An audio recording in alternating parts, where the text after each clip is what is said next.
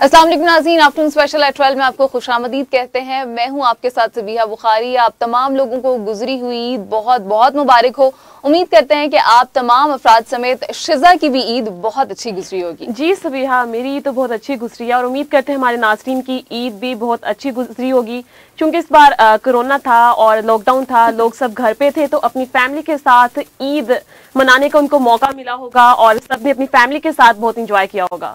Families के साथ तो एंजॉय किया होगा लेकिन क्योंकि बातचीत भी चलती रहती है और खुद हम भी इस चीज़ को भुगत चुके हैं कि चाँद का ऐलान साढ़े ग्यारह बजे हुआ था तो कुछ लोगों ने बड़ी शिकायत की कि भाई चाँद रात तो गुजर गई सारी आधी रात हो चुकी थी तब चाँद का ऐलान किया गया तो ईद हमारी बड़ी बोरिंग गुजरी लेकिन कुछ ऐसे लोग भी हैं जिनकी मेरी तरह ईद बहुत अच्छी गुजरी होगी सभी चाँद रात जो है वो अचानक हुई इसका हम्म। दुख तो मुझे भी बहुत ज़्यादा है हम्म। क्योंकि मुझे एक ऑफ़ मिला हुआ था हम्म। क्योंकि जो चाँद रात है वो अचानक हो गई और उसकी वजह से वो मेरा ऑफ़ भी कैंसिल हो गया अच्छा ये वाकई बड़े दुख की बात है कि जो वर्किंग लोग होते हैं उनको एक तो ऑफ़ बड़ी मुश्किल से मिलता है और फिर उसके अंदर एक चाँद रात की वजह से एक ऑफ़ निकल गया तो फिर आपको एक ही छुट्टी मिली। तो इसका हम सबको भी अफसोस है हमारे नाजरीन को भी इसका अफसोस होगा।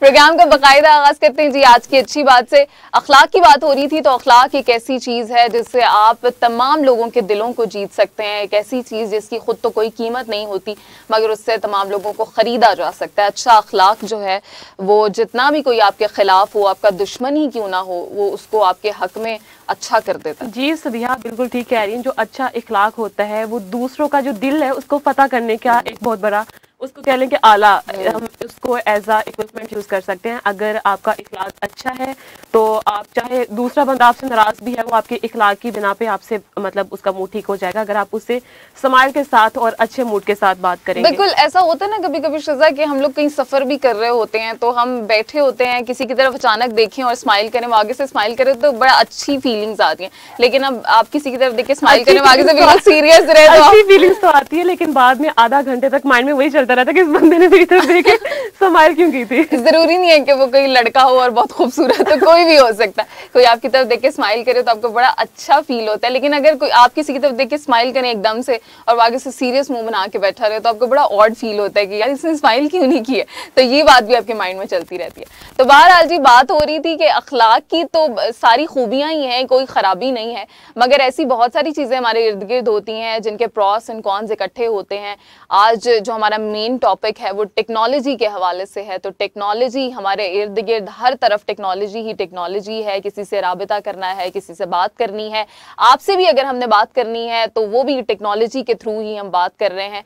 जहाँ इसके इतने फ़ायदे हैं, वहाँ नुकसान भी मौजूद हैं। जी टेक्नोलॉजी के जहाँ बहुत सारे फ़ायदे हैं, वहीं पर उसके नुकसान हैं। अगर हम बात कर ले मोबाइल फ़ोन की तो आजकल पेरेंट्स को बहुत इतराज होता है हम्म। कि बच्चे जब हमारे साथ गैदरिंग में आके बैठते हैं हम्म। तो जस्ट अपना मोबाइल यूज़ कर रहे होते हैं हमसे तो बात नहीं कर रहे होते हम्म। मतलब कि पेरेंट्स भी बहुत ज़्यादा नाराज़ हैं वो भी कहते हैं कि जहाँ पे टेक्नोलॉजी के बेनिफिट्स हैं वहीं पे इनके जो है डिसएडवांटेजेस भी बहुत ज़्यादा है बिल्कुल तन्हाई का इंसान शिकार हो गया है आपस में सारा खानदान भी बैठा होगा सब अपने अपने मोबाइल्स में लगे होंगे और कोई एक दूसरे से बातचीत नहीं कर रहा होगा लाइव तो अब तो अगर हमारे पास मोबाइल हो तो ऐसा फील हो रहा था कि कुछ मिसिंग है हाँ साइड पे रख दें या वो ऐसे लगता है कि पता नहीं कौन सी चीज़ हमने साइड पे रख दी है।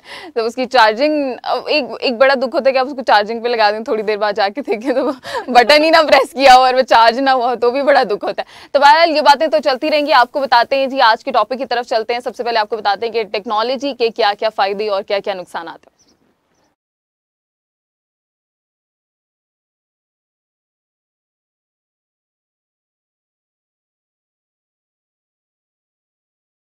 में इजाफे को बरकरार रखा हुआ है। एटी के मुताबिक ऑफशोर खदमात के लिए पाकिस्तान दुनिया भर में मुशी तौर पर सबसे ज़्यादा पुरकशिश मकाम है। जब बात की जाती है टेक्नोलॉजी के फवायद और नुकसान तकनीकी आलात के इस्तेमाल से पैदा होने वाले मस्बत और मनफी दोनों नतज का हवाला दिया जाता है। टेक्नोलॉजी में वो तमाम टूल्स शामिल हैं जिनकी तरक्की के लिए साइंसी इल्म की ज़रूरत होती है। इसी वजह से टेक्नोलॉजी को साइंसी इल्म के एक मजमू के तौर पर बयान किया जा सकता है, जिसका मकसद मौशी और माशरती तरक्की से वाबस्ता। इंसानी ज़रूरियात को पूरा करना है। वो रोज़मर्रा की ज़िंदगी के पहलुओं को बेहतर बनाने की भी इजाज़त देते हैं। मिसाल के तौर पर अगर बात की जाए, कुछ सनती मशीनों की तामीर से पहले सनती इनकलाब के दौरान टेक्सटाइल सनतों की नमू की इजाज़त दी गई। ताहम टेक्नोलॉजी का ज़रूरत से ज़्यादा इस्तेमाल इंसानों और माहौल को जहाँ वो रहते हैं, उसको बेहद नुकसान पहुँचा सकता है। मिसाल के तौर पर बड़ी मशीनरी बहुत ज़्यादा फजला और काफ़ी मकदार में कार्बन डाइऑक्साइड तैयार करती है, जो माहौल के लिए काफ़ी हद तक नुकसानदेह है। एक और मिसाल जी, प्लास्टिक की दी जाती है, जिस पर अब हुकूमत ने पाबंदी भी आयद की है। बहुत सारे ममालिक में प्लास्टिक पर पाबंदी आयद की गई है, क्योंकि ये माहौलियात को और रोज़मर्रा ज़िंदगी में जो हमारे ये बहुत ज़्यादा पाबंदी है। इसके अलावा जी, अगर इसके फ़वाद की, कुछ टेक्नोलॉजी के फ़वाद की बात की जाए तो वो भी हम आपको बताते हैं। जी सभी अपने नासरीन को टेक्नोलॉजी के फ़वाद से आगाह करते चलें। पहला इसका फ़ायदा तो ये है कि मालूम और मालू तक, मालूम तक जो है, आसानी से रिसाई हासिल हो जाती है हमें। और दूसरा इसका फ़ायदा ये है कि रबते की जो लाइनें हैं, वो जल्दी से कायम हो जाती हैं। अगर कोई समंदर पार भी हमारा अज़ीज़ रहता है तो उससे हमें ये टेंशन नहीं होती कि वो वतन वापस आएगा तो ही उससे बात होगी। उससे हम फ़ोन कॉल्स के थ्रू जो है, उससे बहुत आसानी से बात कर सकते हैं। तीसरा इसका फ़ायदा ये है कि पैदावारी और कारकर्दगी में इजाफा होता है। टेक्नोलॉजी की वजह से जो हमारी ज़रात है, उसकी पैदावार में बहुत हद तक इजाफा हो चुका है और ये आ, सारा जो है ये पाकिस्तान तरक्की की राह पर गामजन भी हुआ है। मतलब अगर हम आ, बात करें आ, पिछले चंद आ, सालों के हवाले से तो पाकिस्तान जो है इसकी ज़र मुबादला में भी इजाफा हुआ है। तो बस एक टेक्नोलॉजी की बिना पर ही हुआ है। और चौथा इसका फ़ायदा यह है कि लोगों की सेहत में ताउन करता है। और आजकल तो ऐसे आलात आ चुके हैं कि अगर हम बात करते हैं कि कुछ साल पहले उन बीमारियों का इलाज मुमकिन नहीं होता था लेकिन आजकल जो है वो जदीद टेक्नोलॉजी की वजह से वो मुमकिन हो चुका है और नए पेशे और मुलाजमतें बनाई हैं। और छठा इसका जो फ़ायदा है वो ये है कि आमदरफ्त और मवासलात के रास्तों की सहूलत फ्राहम करना। सातवां जो इसका बेनिफिट है वो ये है कि घरेलू जो भी है घरे घरों का जो काम होता है रोज़मर्रा का, उसको टेक्नोलॉजी ने आसान बना दिया है। और जो आठवां इसका फ़ायदा है वो ये है कि लागत की कारकर्दगी और जो इसका नाइन्थ वन बेनिफिट है वो ये है कि इंसानी बका के लिए ज़रूरी है जो अगर हम बात करें इसके नेक्स्ट बेनिफिट की वो ये कि इससे इससे जो है वो वक्त की बचत हो जाती है। बिल्कुल जी नुकसान भी साथ साथ ही चल रहे हैं और ये है कि जैसे बात हो रही थी प्लास्टिक की तो माहौल को आलूदा करती हैं ये चीज़ें और कुछ मामला ऐसे भी हो जाते हैं जो सेहत के लिए बहुत ज़्यादा नुकसान होते हैं। ज़ाहिर है, अगर माहौल आलूदा होगा तो सेहत को भी बहुत ज़्यादा नुकसान होगा। मौशती तनहाई के हवाले से हम बात कर रहे थे कि मोबाइल फ़ोन और टेक्नोलॉजी का, कंप्यूटर्स का ज़्यादा इस्तेमाल मौशती तनहाई में इंसान को मुबतला कर देता है। बेरोज़गारी में इजाफा हो सकता है, मगर अब ऑनलाइन काम भी काफ़ी बढ़ गया है तो पहले बेरोज़गारी का खतरा था, अब शायद इतना नहीं रहा।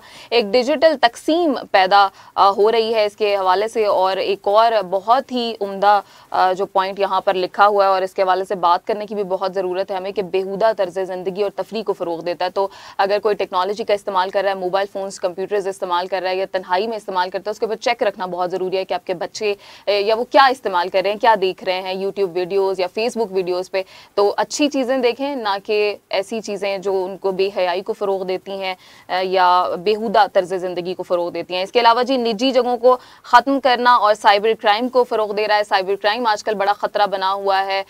हैक हो जाती हैं चीज़ें, आपकी, आपके पैसे चले जाते हैं और आपका डेटा जो बहुत इंपॉर्टेंट होता है, वो भी हैक कर लिया जाता है। इंसानियत के लिए मुमकिन ख़तरा जी पैदा हो रहा है और इसका एक नशा पैदा हो जाता है, जिससे छुड़ाना, जान छुड़ाना बहुत मुश्किल हो जाता है। तो और साथ ही साथ ये है कि ये हकीकत को भी मस्त कर देता है। बहुत सारी झूठी चीज़ें जो आजकल हम देखते हैं कि फेसबुक पर और मीडिया के ऊपर फैलाई जाती हैं और जिसके ऊपर लोग बड़ी आसानी से यकीन भी कर लेते हैं। तो एक चीज़ हमारे यहाँ बड़ी बोली जाती थी, जब हम यूनिवर्सिटी में थे तो हमारे प्रोफेसर कहते होते थे, ये फेसबुक नहीं है, ये फेक बुक है। तो इसके ऊपर कभी यकीन ना करें, इसके ऊपर जो भी डिटेल्स आ रही हैं, वो सारी फेक है।